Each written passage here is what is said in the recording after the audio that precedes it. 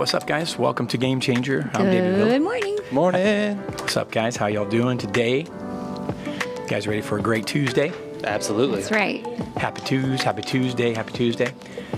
Well, good start to the series. What do you think? Pace the race. I think we, uh, I think we got off to a good, even pace. What do y'all think?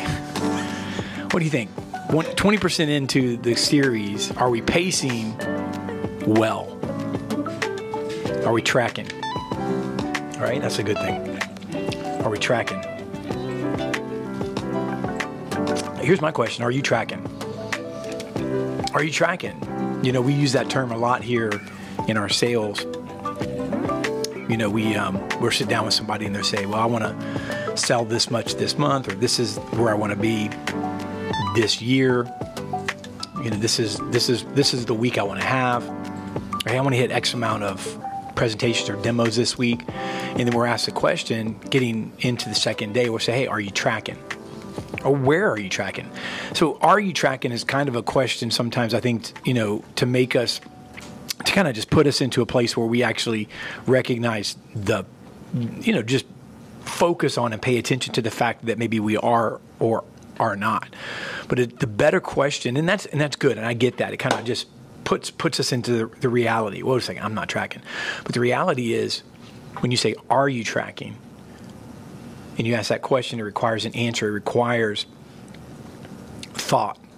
And I just, you know, there's many times when I've been on this race and this journey of life, and I've assessed the situation, and I've said, you know, I'm not tracking, and um, that's not a good feeling. You know, um, yesterday I was part of some of the one-on-ones, and it's interesting that you said that. Is that you? You know, I'm not tracking. I think one of the things to know that is I think you have to regularly being. Uh, you know, be in a position where you're analyzing. You know, I think sometimes in the you know in, in a business world, you know, you what, whatever whatever you know field you're in, I think sometimes we can leave our day feeling defeated versus accomplished. And I think accomplished, and I think it starts with how do you pace yourself. I think you first have to, you know, begin your day. It sounds trivial, but begin your day with very specific goals that you want to hit. hit easy, manageable goals like today, whatever that is, personally or business. You know, today I'm, you know, I'm gonna do 15 push-ups every hour or i'm going to make sure i make healthy you know choices. Um, you know what? Or you know if someone speaks negative to me i'm going to immediately shut it down and, and, move on and think positive thoughts. Whatever it is that you're needing right? So you know when you start your day you know what you're needing to make it through or pace your race for the day. So i think you know, it starts with setting spe- very specific goals. And you know what the, the, truth of the matter is we start out our day and we don't always hit all of them right? But i think we need to be able to go back at the end of the day and go what did i accomplish? What did i uh, you know, what, what did i did? You know what? Today i, I didn't eat candy. I didn't. I ate carrots. I don't know. Um, I, you know, a couple times I was going to be pulled into a water cooler conversation, and when I seen it head in that direction, I exited because obviously positive thoughts are what you want to do to keep going. So you you find ways, whatever that is, and go back and and um, examine your day so that you can find the losses where you didn't hit your markers or what goals you set, but also make sure that you are acknowledging and celebrating what you did hit so that you leave your day feeling accomplished, even if you didn't hit all your goals. When you're able to go back through and go, hey, I did this, I did this, I did this, even though you could either end your day defeated because of everything you didn't get done, or you could celebrate what was accomplished and end, you know end your day feeling accomplished versus defeated. And I think it really has to do with again your mindset. Probably has a lot to do with your your pace and and, and how you you know get through your day. Yeah. Uh, Philippians 2 16 and 18 says, Hold f- firmly to the word of life. Then on the day of Christ's return, I will be proud that I did not run the race in vain and that my work was not useless.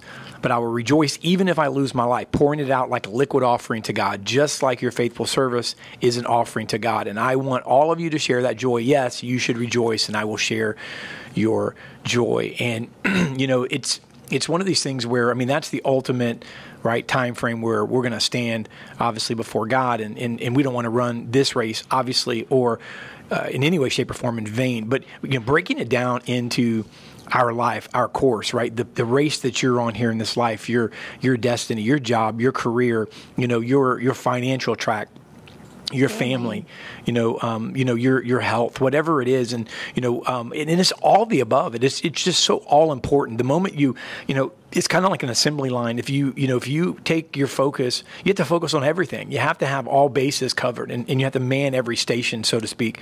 Because if you if you don't, you know, you take your eyes and you focus, you know, on this one area, and you put all of your efforts into this area, but maybe you overstay your welcome, you know, then then it's inevitable that some other area in your life will lack. So it's all the above and it's not only waiting to get to the end obviously that's the main race that we're speaking of life but it's the race to to where you're headed this year. It's the race to the goal that you have in front of you that, that you know of, of, what god wants to accomplish in your life. And so um, you know let's not make that one in vain. And, and, I, and I love it that we t- take small steps. And that's what we're talking about really today um, you know um, one step at a time. And you know i was reading um, on this and um, in the uh, the uh, Bernese Alps of Switzerland, there's there's the longest stairway in the world, and it's on in, on the side of Mount Niesen, and it stretches three three point four kilometers in length. Okay, six, that's sixteen hundred and sixty nine miles in altitude, and the stairway comprises of eleven thousand six hundred and forty seven steps. So this thing's sixteen miles long.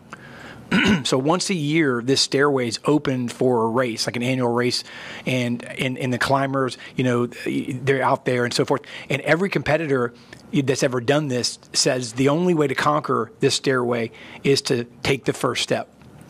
And so, you know, when God gives us a dream and a, grand plan, some, something like that, that's equivalent to, I mean, I'm, I'm you know, if I can I have to walk this thing, right? This is this is this is this is 1669 miles long.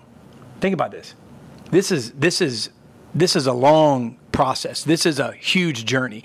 And then, you know, when God gives us a dream, it's a grand plan. Sometimes we look at that and we're like, man, I can't I can't even I can't make this. So it paralyzes us from even taking the next step. and it seems impossible and sometimes I think that prevents us from even beginning. So, you know, I, I, would say this is how Abraham felt. You know, looking at Abraham in the Word of God, you know, he's he has no children, right? He has no no property to call his own. God gave him a promise that he would possess land and have you know many descendants. And Abraham was 75 years old at that time. You know, think about this. And instead of being paralyzed by fear and uncertainty, Abraham took the first step. In Hebrews 11:8, it records this later on. It says that he obeyed and went, even though he didn't know where he was going. That's a very sobering scripture there he obeyed and went even though he didn't know where he was going. So God gave Abraham a grand plan. Not only did he give him a grand plan, he waited till he was old as dirt. I mean, like he gave him a grand plan. His wife was barren and he was old as dirt.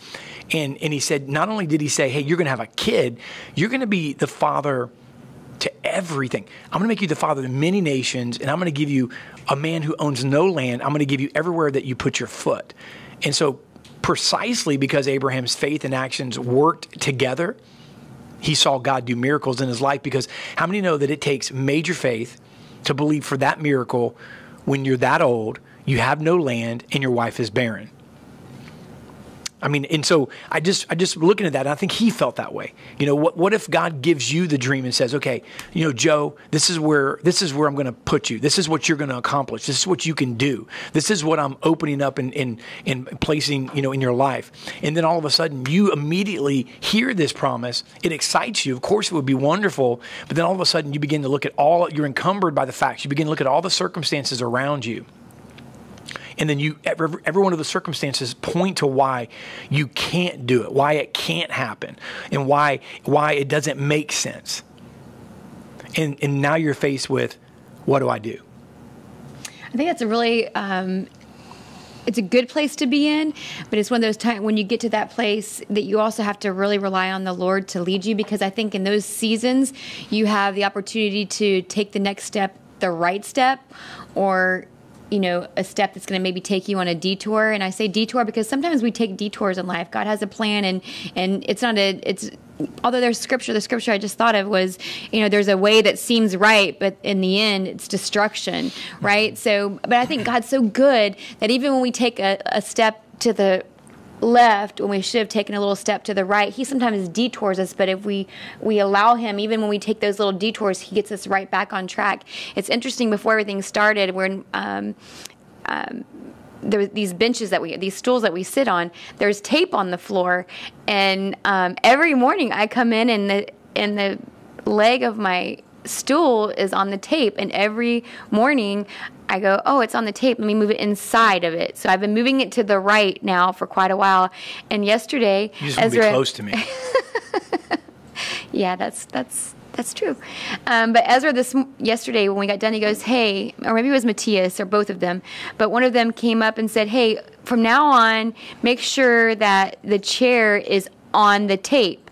My point to that is there was a way that seemed right to me, and the way was it needed to be to the right of the edge of the tape, not on the tape. And so Abraham was probably in the season where here God's given him this prom- promise and he's thinking when is this ever going to happen and he had the choice to stay and believe and trust or kind of try and make it happen for himself like go take his his his chair leg off the tape and move it to the right a little bit or leave it where it needs to be and let God work it out. And guess what? He made a choice to keep going. And God, obviously, we know the story of Abraham. But, um, you know, I think that you have to be careful in those seasons that you do rely on the Lord because we all come to crossroads, right? And um, in those crossroads, we have to, you know, stay sensitive to the Lord and the people around, you know, the, people that God puts in our our life to kind of make sure that we're we're taking the right path, we're pacing ourselves down the right road and not the wrong one. Yeah, absolutely. And you know, um, faith without actions, the Bible says, is dead. Faith without actions is lifeless. So actions without faith are aimless. And so you have you have two scenarios there. A lot of times we are so faith heavy, you know, and and and that's a good thing. But faith without action is lifeless. So if you have faith or you say you have faith, but there's no action that that you know that that uh, that follows, then you know, then I think that you've missed the point. And actions without faith are aimless, right? If we just are moving around like a chicken with their head cut off. And that's why God wants us to have both faith and actions operating in our lives. And you know, that's what Abraham had. I mean, reality is he had faith, but at the same time, he didn't just believe God and sit. Sometimes you we sit in those if you are you have the tendency to to to act okay, then I think that sometimes you're you're maybe the best thing for you. I'm that person is to sometimes put, pull back and allow faith to kind of build up because you have no problem acting. And then maybe you're someone who has an issue with acting, but you believe God can do it, but you have an issue with acting. You have a you have an issue exercising that faith. And you know, I think that in, in your in your case, putting that first foot forward, taking a chance on God. And so both of them are important, and God wants us to have both faith and actions operating in our life. And it's when they're both operating. It goes back to that factory mentality. If you can just think about this assembly line, if you, you know, um, if you focus on one area, and you know you're going to have a bottleneck in another area you know if if if you if you put all your manpower into one area you know, then you're gonna then you're gonna lack in other areas. And so that it takes a balance. And you know, God wants us to have both operate in our life, and He's given us the power to both. Listen to this. He's given us the power to both dream and do. And you need to get that. God's given us the power to both dream and do. We need to dream. And some of us have no problem dreaming. Some of us, man, are dreamers, right? I mean, some of us just, just, I mean, we, we, we have vision and we, we dream and we just think about it, but we're not doers right? We're not, we haven't taken any action. We've just sat for so long on this promise, and time has not waited for us. And, and I believe that God wants us to act as well. And then some of us are doers, but we haven't taken the time to really dream the dream or to plan the vision. And the Bible says, without vision, people run wild. They perish, but another version says run wild or they become reckless. And it and it's and it's and that means they perish. And so he's given us the power to dream and do. He's given us the power to imagine and to act. So we need to imagine. Creativity is important, but then putting that into action. You go, well, I haven't gotten it all down yet. I've erased. How many times have you erased the plan? How many times have you how many times have you scratched through the, the blueprint? You know, I'm gonna I'm gonna challenge those of you that have scratched through the blueprint about 20 times. I'm gonna challenge you to pick a hammer up and a nail. I'm gonna challenge you to do something Because I'm going to tell you that I believe sometimes we need to make some mistakes. Sometimes we just need to take the shot. And the enemy is the one behind you a lot of times when it's overdue. He's the one behind you saying, just a little longer. It's not quite done. You're not qualified yet. You're not ready. And the reality is, you're ready when God says you're ready. So faith without actions is lifeless. Amen. So he's given us the power to dream and do, imagine, and act. So here's my question What are the first steps that we can take today, right, on our journey toward the grand plans, not just big plans, not just nice plans, but the grand plans that God has placed in our hearts? Because you and I both know that he authored them. He authored them. Many of us have no problem saying, "Man, God gave me that. God gave me this. God shared this with me. Hey, you know what God, God, God impressed upon my heart years ago. Hey, you know what God dropped in my spirit. Man, you know what God, God, I think God gave me this idea." But a lot of us don't see Him as the finisher, and I think that's an issue. Well, someone actually asked for an example of faith in action. I would say, um, you know, first you have to determine what you're, you know, having faith for. So let's just say maybe it's um, you want to start your own business. So I would say the action part would be um, connecting with people or finding books that help you. How do people start a business? What type of business plan? Putting together a business plan that what you want to accomplish. Okay, I'm going to need this, this, and th- these three resources: finances, product, and work, someone to help me, uh, you know, a team member to help me, whatever those are. So I think you lay out a plan and then you begin working towards that. If you're having believing faith for maybe a reconciliation in a in a relationship, and and again, I mean reconciliation in a healthy relationship. There's some relationships out there that are toxic and unhealthy, but you're believing that, then you're gonna you can't change somebody, right? So I'm gonna my action is gonna be I'm gonna allow the Lord to heal some of those hurts in me, and I'm gonna set boundaries or I'm going to I'm going to sow seeds of love and encouragement even when right now it's a season that I need to. So I think it's you have to first identify what you're having faith for and then um, examine it and determine okay this is what my i'm wanting my end result to be what do i need to what what pit stops you know I'm, when we talked about pacing our race like in in um, marathons there there are checkpoints that you stop in and you refuel. So what checkpoints do i have to have to get to where i'm going? Maybe you're in a financial issue like learning putting disciplines. Like if you're having a financial issue and you're having and believing god to help you through that are you putting financial disciplines in line to allow Lord, the lord to move? Like if you're hey god i'm believing i'm believing but yet you're going and you know spending money frivolously then you're not putting you know not just you're not making faith and action work together. You're believing and then having bad action so yeah, and something something just to kind of piggyback. Hope that on, helps. Yeah, and I want to piggyback on that a little bit as well because there's there's two. We've been married 28 years. We've had a business. We started a business. You know, in reality, we started a business. This business in 2004. We had a s- smaller, similar business that failed. Um, you know, uh, f- a few years before that, so it was the same type of business, but it failed miserably because of the uh, the actions that um, we took and slash didn't take. And then we started officially the business that we own now in 2004. Same same name, same everything. So that's been uh, what's uh, 2004. So what 20? how many years is that? 17 years. 17 years. Thank you. Quick math. so here, but here's the thing. I would say, you know, as an entrepreneur, as an entrepreneur, I think it takes both sides. So I've made major mistakes. I'm just going on the business side of things. Um, I made major mistakes in all of it, but the business side of things, you know, we're, we're different. And, um, you know, you, you immediately said make a plan. And I actually agree with that. Um, but you also have to have the, you have to have the, um, the take action. And so let me, let me just say this. I can tell you that when we look back at why, some people ask this all the time, and there's not enough time to go over this in this podcast, but why, how you did this, why, how, how did you guys make it? I think that number one, you got to understand, you got to, let's just take business. Are you called to be a business owner? And I mean that sincerely. Are you called to be one? Because here's the thing, you know, business owner. It you can you know you can be a business owner, not have to answer to anyone. Which, by the way, you always have to answer to someone. I'm not just talking about God, but you have customers and you have you have bills and things of that nature. And if you're not called to be one, or if you're not committed, and if you're called, you get committed. And I'll explain that in a second. I'm just going to tell you that you can make a whole heck of a lot more money if you're an uncalled or uncommitted business owner Now, I'm just hear me for a second. If you are, if you are an uncalled or an uncommitted business owner, and there's if's the operative word, you can make a whole heck of a lot more money working for someone else. Let me explain what I mean by that.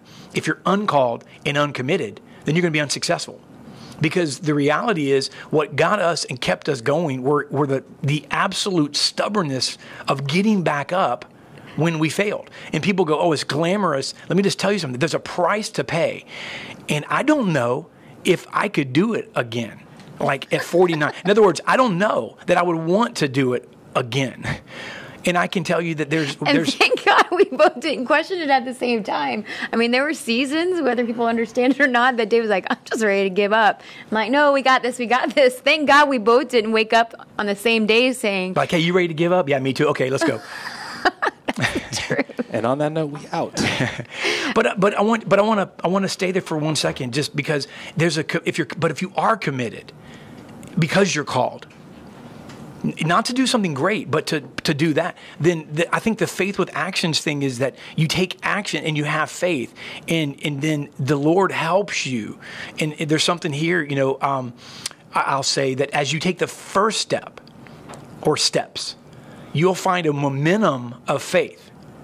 And that's the key. As you, because if you're called, then you're committed. And what committed means is when you see the first bump in the road, the first issue come up of the day, the first challenge, the first obstacle, the first thing that didn't go your way, the first time that you can't make rent on your new business, you know, the, the, the times when you can't do those things, you don't you don't question, okay, well, that was fun. Let me just jump right back into here because that's not committed. You get up, you take the first steps, you find momentum, you got to find it, and then a momentum by the way of faith, and it begins to build, and then the next step becomes apparent, and then it's just like anything else. I mean, and I cannot tell you today, even though we've, you know, we're a multi-million dollar organization, we we we're healthy, we're good, we've been in business for a long time. I can tell you that we still have to take certain things one step at a time. They're just a lot bigger steps and it so but we've we built that over the years. So i think that how do you take how do faith and actions come together? You know i think that if it's a god thing right he'll give you faith that will allow you to make the actions. You know that make sense? He'll give you the faith. In other words if it's disjointed it won't feel right. And possibly i'll say because it's not right and you can break that down, by the way, into um, you know m- sales team and people here that aren't business owners, but they say, "Hey, I want to make this much money, or I want to accomplish this." Well, how does your mor- morning start? How, what are you going to do at 9:05, right after your, right after the meeting, right after the sales meeting, right after your? What's the first step you're going to do? Is it going to be indicative of what you said you wanted to accomplish, or are you going to just do the same thing every day and expect a different outcome? Yesterday in some one-on-ones that I was in, it was interesting because we were talking about the race, and, and I walked into them. Um, the sales manager the, had paperwork um, that there certain topics that he wanted to hit with each person, and I didn't get those until as soon as he walked in and the person walked in. I kind of just skimmed over them. But um, one of the things that came to me in that in that um, in some of those conversations are when we're talking about a race you never see a runner all of a sudden it's like they're it's like they're getting ready to start the race and they run on from the sidelines and then just get in their lane and run right? What do they do? They st- all of them start in the starting blocks and everyone's thought process in those starting blocks have to be different. You know there's one person that may be thinking man I, I got this i've trained for this. There might be someone else thinking man the person to my right they i've seen their speed in you know in the in the test run and they were like can i get them? you know, whatever, but no matter what, they all crouch down, get in the starting blocks, get their mind focused on the lane in front of them hmm. before it goes. And we forget that. We start our days like we're we're running in the door trying to make it, you know, in our place on time, but we really haven't taken the time to sit down, breathe in, exhale. What am I going to accomplish today? And so we're starting just like if you're starting in a race where most people are already in the starting blocks, we're coming in off the mm-hmm. sidelines, getting in the lane and taking off, and there's no mental preparation before we get in it. Well, yeah, and it's and, and, and I know That never that- happens in a race, by And I know way. we're out of out of time, but can I say this? And Diana kind of touched on it at the very end. It starts even before the starting blocks. I mean, it starts in the training. It starts in the before. And then here's the thing: if you haven't trained and you show up a game day, too late. You know, if you haven't trained, first of all, if I step out on the track in the Olympics to get into the starting blocks of anything, can I just tell you, too late? if I here's the thing, I can get out there and I can go, okay, I remember from high school, this is how you get in the starting blocks. This is what's supposed, and I can I can look that part kind of, not really, look that part, you know, until the camera gets on me, and then all of a sudden I'm down there, too late. You know why? I didn't train. But can I tell you, even if I did train, even if I did train and I did prepare and I spent months or years training for that moment, and even if I did get in the starting blocks, there's something in between. They come out and stretch. They come out and, and be prepared because you know what? If they trained, and then even if they know exactly what to do and they're fast and they're and they're and they're athletes, if they don't stretch before, you could pull something. I mean, there's so many caveats. Running in your own race. I mean, I just thought of that too. If I'm going to be um, a relay racer, mm-hmm. I'm certainly not going to want to show up to the sprint race. Yeah. So I, we talked about that yesterday. Is you know, don't measure your race based on someone else's because sometimes we might have same goals or same endpoint that we're wanting to achieve, but it might not happen in the same way for us as it does someone else. The most important part is that you show up, but that you run your race in your lane and not somebody else's. Mm, that's good. Yeah, and tomorrow what we're going to dive that's into. That's a good comparison. That's right. That's exactly what I was hitting on your race. Yeah. Yeah, and matter of fact, I, I, did, I, we weren't planning on this, but I'm throwing a, a, little wrench into it because we're we follow the Holy Spirit here. I want to I want to talk about staying in your lane tomorrow. We're talking about pacing the race, right? And part of pacing the race is staying in your lane and um, and running your race. Let's talk about those two things, you know, for the next couple days. So stay in your lane, run your race. That's part of pacing your race. Amen and uh, so we're, we're, gonna we're gonna jump into that part tomorrow as we get into day three of pace the race. And i hope you guys are enjoying this. If you are make sure you're here tomorrow at 8.30 tell somebody about it. We love the dialogue by the way. And mike just uh, found out man on itunes um, we are uh, we're, we're, we're trending really high in the religious section. And i uh, want to thank you guys for subscribing to that. If you haven't subscribed to the um, i just want to say this we normally don't do it to apple podcast do us a favor subscribe to that that. And even if you watch us, um, because uh, we're, we're getting a lot of subscriptions and we're trending pretty high in the religious category. And, um, and so God's blessing that, that avenue. Thank you. You know, we all want to celebrate at the end of a race, you know, the confetti and everything, but trust the process and it, trust the process of getting there and celebrate the wins along the way. We forget that sometimes we beat up ourselves and we don't celebrate the wins along in our race. Amen. So. Thank you all for tuning in today. Hope you guys have enjoyed this series so far. We still have a few days left of it. So if you guys are enjoying it, make sure that you guys continue to tune in over the next few days. Um, if you guys want, we actually had a comment come in this morning that they actually love the daily encouragement. But we have a daily encouragement text that goes out every single morning at 8:30. If you guys would like to opt into that, it is completely free. It doesn't cost a thing. You can text the letters EZGC to 813-522-3356. You can get a free text message every single morning, just a little pick me up, maybe before the podcast, maybe you can't tune into the podcast that morning. just something that you can pick up or that can pick your morning up, sorry got a text message and look down. To everybody that watches us live, thank you so much for being with us every single morning. YouTube and Facebook, your comments mean the world to us. The engagement that you guys are talking with us throughout the show is awesome. We love it. If you guys happen to not be able to join us live, you can always catch us on the go. Like we just mentioned, Apple Podcasts, make sure you guys are subscribing. Spotify, Google Podcasts, wherever you guys listen to audio podcasts, you can subscribe to us on that platform. Or you can also catch the replay on YouTube every single day. We upload at 12 o'clock. If you are listening on any of those platforms or watching a replay, you can join us live every single morning at 8 30 a.m. EST on Facebook and YouTube live. Jump in, give us a comment, throw us a shout out, you know, make fun of the fact that I have a bald spot and I'm only 30, you know, whatever y'all want to do. Have fun with it. But make sure you guys go check out Summer 21 drop on faithgear.co. It's a limited drop. We have a limited supply. Once we run out, it will take us at least three weeks to restock, and we may not restock some of the items. So if you want it, grab it while you can. Our featured Bible plan of the week is Unfair Advantage. It's a four day reading plan on YouVersion or the Bible app. Go check it out, opt into it, read through it, let us know what you think about it. But thank you all for listening. We hope you guys enjoy the rest of your day. We'll see you bright and early tomorrow morning. And on that note, we out.